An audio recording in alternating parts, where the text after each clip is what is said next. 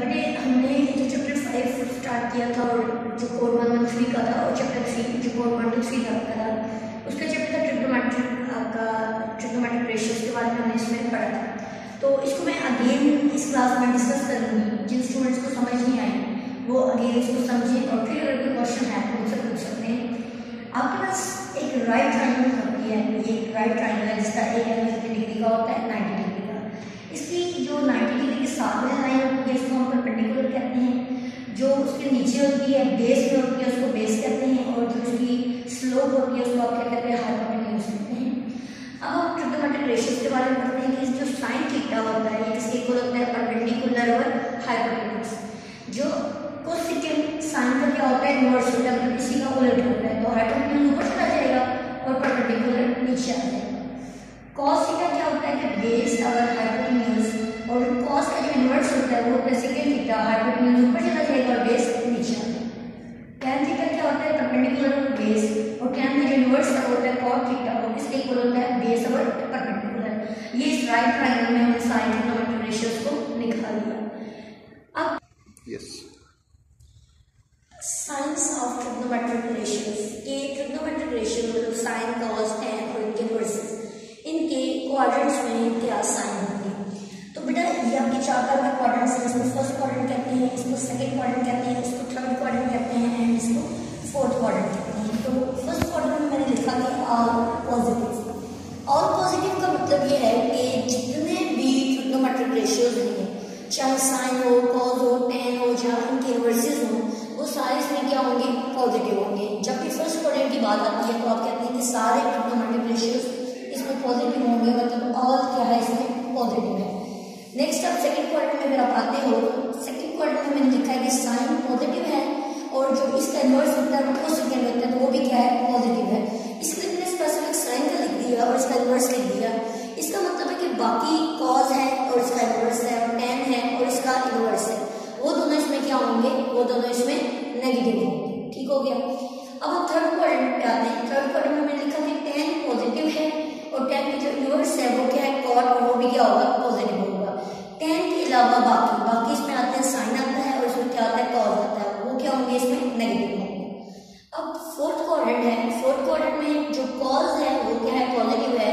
और जो कॉज का इन्वर्स है सेकेंड वो भी क्या है? पॉजिटिव है। और बाकी सारे क्या होंगे इसमें? बाकी सारे इसमें नेगेटिव होंगे। बाकी में sun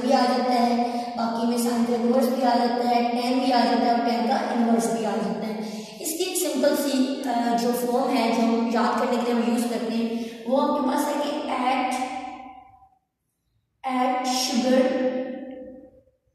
to coffee ये इसकी हम शॉर्ट सी फॉर्म है, जो एक ट्रिकी वे है कि हम किस तरह इन क्वाड्रेंट्स को याद करें।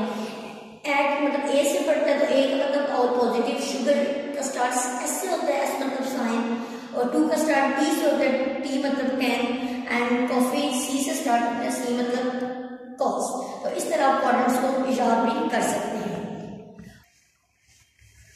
नेक्स्ट अपना क्वेश्चन नंबर फोर है क्वेश्चन नंबर फोर में हमारे पास है कि if tan theta is equals to 3 by 4 and the terminal side of the angle lies in कौन से क्वाड्रेंट में है वो?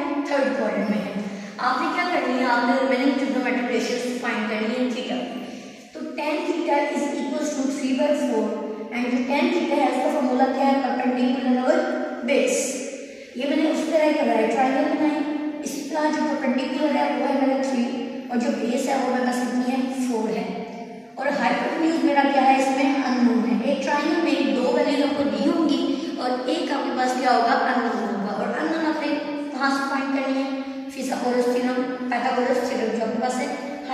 Square is to perpendicular square plus base square यहाँ से आपने निकालना है परपेंडिकुलर उसकी वैल्यू की थ्री थ्री का स्क्वायर बेस की जगह उसकी वैल्यू फोर फोर का square three square is equals to nine four square is equals to sixteen sixteen plus nine equal आ जाएगा ट्वेंटी फाइव और अगर आप स्क्वायर रूट लेते हो तो हाइपोटेन्यूज किसके इक्वल आ जाएगा? फाइव के इक्वल आ जाएगा. अब रिमेनिंग ट्रिग्नोमेट्रिक रेशियोज में टेन गिवन है पीछे क्या रहेगा साइन सबसे पहले. साइन थीटा का फॉर्मूला है परपेंडिकुलर और हाइपोटेन्यूज अब आप चेक करें कि परपेंडिकुलर है थ्री और हाइपोटेन्यूज आपके पास नोन है, कितना आ गया? फाइव आ गया. तो क्या आ जाएगा? थ्री बाई फाइव इसका जो इनवर्स है तो सेकेंड वो है सॉरी यहाँ पे वो क्या है? इसी का उलट फाइव ओवर क्या आ जाएगा? थ्री आ जाएगा। मतलब इसका आप क्या ले लोगे? रेसिप्रोकल ले लोगे। उलट कर लोगे इसको। तो इसके बाद जो साइन मैंने लगाया, वो मैंने नेगेटिव लगाया। क्यों मैंने नेगेटिव लगाया? क्योंकि आप देखिए कि आपके जो एंगल है, वो किस क्वाड्रेंट में है थर्ड क्वाड्रेंट में। और थर्ड क्वाड्रेंट में थर्ड क्वाड्रेंट में जो टेन है, वो होता है पॉजिटिव और जो इसके इन्वर्सेस होते हैं, वो क्या होते हैं? वो नेगेटिव